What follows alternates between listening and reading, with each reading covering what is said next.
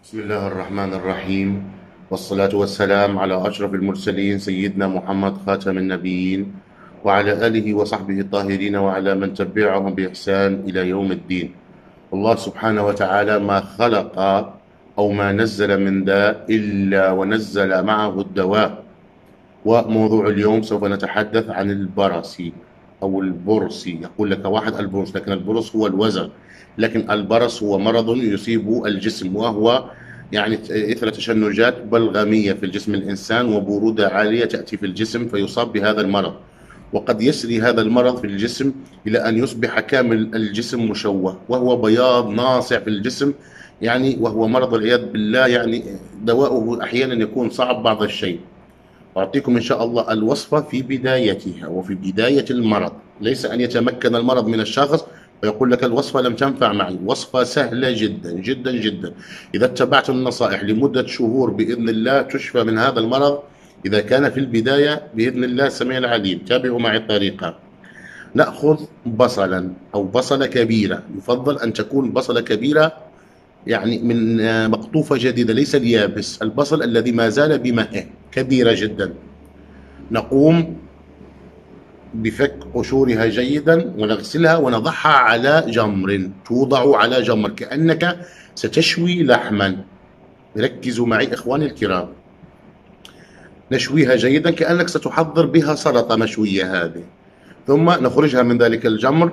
ونقوم بعصرها. يقول لي واحد كيف ستعصرها؟ تعصر أخي الكريم تبرد وتعصر أو في داخل قطعة قماش وتضغط عليها أو تطحنها وتستخلص ماءها كل الطرق سهلة لا نصعب الأمور عن بعضنا. ثم نأخذ حبوب الفجل. تعرفون حبوب الفجل؟ نطحنها جيدا تدق جيدا في مهراز ونخلط ذلك العصير مع ذلك المسحوق مسحوق حبوب الفجل يخلط جيدا مع بعضه ويوضع في وعاء باللور محكم الغلق لنستعمله فترات طويلة ثم ندهن به ذلك المكان المكان لمدة سبع أيام. ثم إذا يعني لم نرى تغير والتغير سيأتي على طول المدى لن يأتي مباشرة لا يوجد شيء اسمه كون فيكون. فهذه ربما الخاصية تميز بها سيدنا عيسى أعطاه الله هذه الكرامة ليداوي بها الناس. يداويهم من البرص ويشفي الأكمة والأبرص والأعمى يعني سبحان الله. لكن نحن نجتهد وهي عن علماء من السلف الصالح بإذن الله. ثم يعني تتبع طريقة غذائية معينة. الطريقة هي أن تأكل اللحم الأحمر. لا تأكل الدجاج لا تأكل لحم الأرنب لا تأكل اللحم الأبيض ابتعد عنه قدر الإمكان في تلك الفترة من العلاج. الخبز الأبيض تبتعد عليه قدر الإمكان. تحاول أن تأكل خبزا أسمر أو خبز يعني يكون مخلوط بهذا النخال. نقول خبز يعني جاف شوي.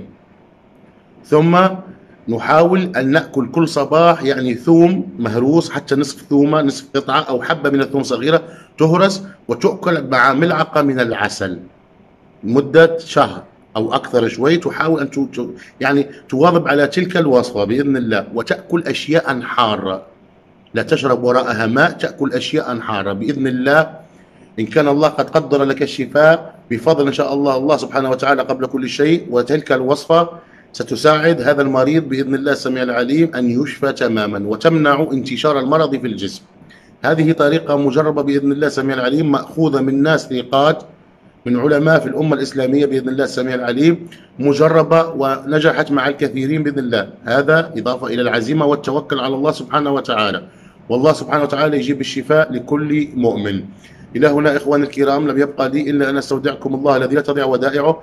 دمتم في رعاية الله والسلام عليكم ورحمة الله وبركاته.